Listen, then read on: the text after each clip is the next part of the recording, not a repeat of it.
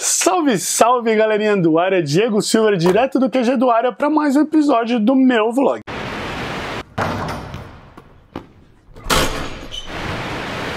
Eu vou começar hoje aqui para vocês uma série de de vídeos aí falando uma espécie de, de, de dicionário do basquetebol. Então estou aqui só para tirar as dúvidas de vocês quanto a termos e situações do basquete. Então se você já tem alguma dúvida, vai deixando aí nos comentários que eu vou produzindo os vídeos com algum, tirando algumas dúvidas e eu vou tentar fazer mais de uma por vídeo porque a ideia dos vídeos do vlog é eles sempre serem curtinhos para que vocês não percam foco nas instruções, beleza? Então se liga então, já deixa aí os comentários as dúvidas e não deixe de se inscrever no canal e ativar o sininho. Então bora lá, porque hoje eu vou trazer para vocês, eu vou explicar para vocês o que é turnover e o que é o índice de eficiência. Vamos começar aqui pela eficiência. Galera, o índice de eficiência, ele é um, um, um índice que ele a produção do jogador para a equipe. Então, se um jogador ele tem esse índice de eficiência alto, ele acabou produzindo muito e não necessariamente é o jogador o maior pontuador da equipe.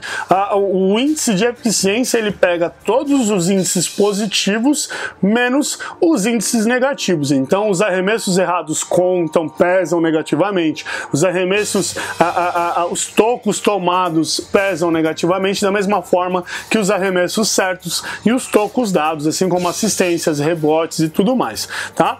É, é, dentro dessa fórmula é apresentado um número que aí o, o número pode ser tanto positivo como negativo. Então o cara tentou 10 bolas e não acertou nenhuma. Se os outros índices não forem muito bons, ele já começa com um índice de eficiência menos 10. Então por isso isso que é legal esse índice, porque ele não mostra só a produção do cestinha. Então você pode ter um jogador aí que ah, fez ali é, 3 de 3 arremessos de quadra, então ele fez 6 pontos, saiu 100% de aproveitamento e deu 10 passes. O cara pode ter um índice de eficiência maior do que o maior cestinha da equipe, que não necessariamente fez aí seus 30 pontos e saiu 100% de aproveitamento. Ele deve ter chutado muito mais para chegar nisso e consequentemente deve ter errado algumas cestas. Quando a gente fala de turnover, galera, o turnover ele é um erro cometido por um jogador que resulta na posse de bola para a equipe adversária. Então vamos supor que você está lá driblando a bola, você perdeu o controle da bola e o adversário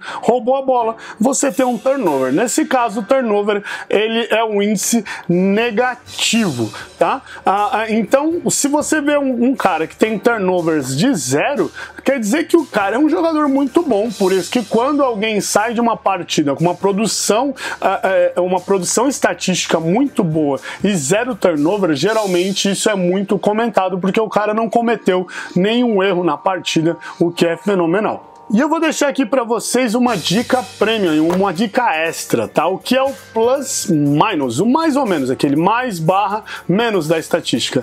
Esse, diferente da eficiência, que a eficiência seria a sua produção pro time, o plus minus é a produção do time com você em quadra. Então é o quanto você em quadra pesa uh, para a equipe produzir mais ofensivamente ou, ou uh, uh, defensivamente, acabando pontuando mais ou sofrendo sofrendo mais cestas ou quem sabe menos cestas, tá bom? Então, por que que isso é legal? Por, por que que é plus minus? Porque você, a sua equipe pode ser tanto melhor com você como pior com você dentro de quadra. Então, imagina o seguinte, assim, sua equipe tá tomando de 5 a 0 no começo do primeiro quarto de uma partida. Seu técnico vai lá e te coloca dentro de quadra. E aí, a equipe termina o primeiro quarto 12 a 12.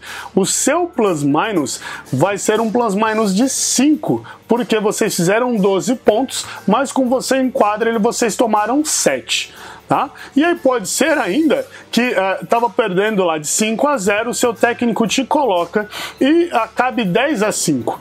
O seu plus minus vai ser de 0 porque você fez 5 e tomou 5. Ou poderia não fazer nada ofensivamente e tomar 5 cestas, o seu plus minus seria de menos 5, por mais que a sua equipe esteja perdendo de 10 a 0. É isso, galera. Se você tiver alguma outra dúvida, você quer saber alguma coisa dentro desse dicionário, Deixa aí nos comentários que eu trago tudo para vocês. Se liga também aqui ó, no site, no nosso Twitter e no nosso canal no YouTube, beleza? Está rolando aqui ainda, ó, unboxing do LeBron 17. Lembrando que nessa segunda-feira ou melhor, eu não sei quando eu vou soltar esse vídeo. Lembrando que também vai ter aí um unboxing do Jordan 34, beleza? Não deixa de se inscrever, deixa o like, comenta aí.